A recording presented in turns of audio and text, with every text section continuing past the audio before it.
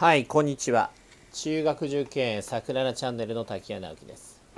え今日は偏差値 65A の算数、えー、正方形のね、えー、まあ問題やってみましょう。この中学受験桜菜チャンネルは中学受験の全教科全科目全単元をいつでもどこでも何度でもをコンセプトに作っているチャンネルです。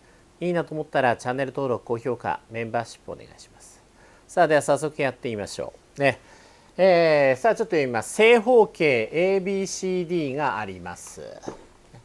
FG イコール1センチ GC イコール3センチ GD イコール9センチの時四角形 ABCD の面積、まあ、正方形のことですね正方形 ABCD の面積はほにゃ平方センチメートルですと。ね、さあ ABCD は正方形なんです。でも一辺は分かりません。等しい等しい等しい等しい90度90度90度90度こういう正方形。でも一辺は分かんない。で、えー、この中にピッと線を引いて FG が1センチ。で GC が3センチ。で GD が9センチ。でこの時に、えー、この正方形の面積が分かるっていうわけです。で、えー、これねまずねどこが分かるかっていうとねえー、っとここを×度としますね。でこの直角三角形のねえー、っとあまあここを丸度としましょう。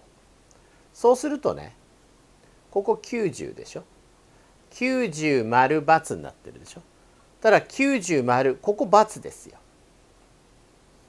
で GCD も 90× ってなってるからここ丸なんですよ。で丸足す×は90なんです。丸足す ×90 そうするとねここ延長した E これもここが×とするとここ丸でしょ？丸 90× ですよ。ってことはね三角形 EBC と DCF はこれ合同ですよね。三角形 BEC と三角形 CDF はこれ合同ですよ。ね、と DF が9たす110ですから CE も10センチです。で今度 GE はこれ7センチです。でまた同じように、ね、今度こことここに垂直な線を引っ張ってこういうふうに延長していくとね今度丸90度 ××90 度丸また合同な直角三角形ができます。さらにここからこういうふうに垂直な線を引いていくとこうね丸 ×90 度ね ×90 度丸ここにやっぱり合同な直角三角形がつってきでそうするとどういうことがわかるかっていうとここ1センチ3センチです。でここ7センチです。これね。全部で10センチ。1センチ3センチでこれ1センチ3センチでここ10センチですよ。10から1と3引くとこれ6でここ90度ですから。えー、でここもね G、えー、まあ、ここここからここまで。これも6なんですよ。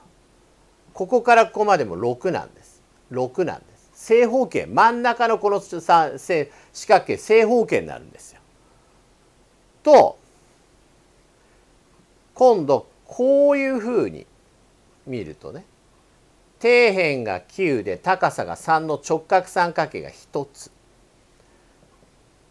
2つ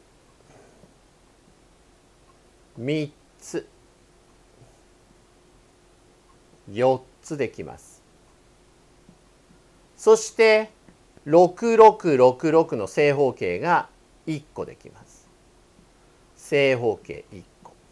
これで正方形の面積出せます。3×9 割る2これが1234つできます。かける4 3区2713.513.5かける454そして真ん中がね10から1と3引いて一辺が6センチの正方形。6×6 は36平方センチメートル。で足すと54足す36の90平方センチメートル。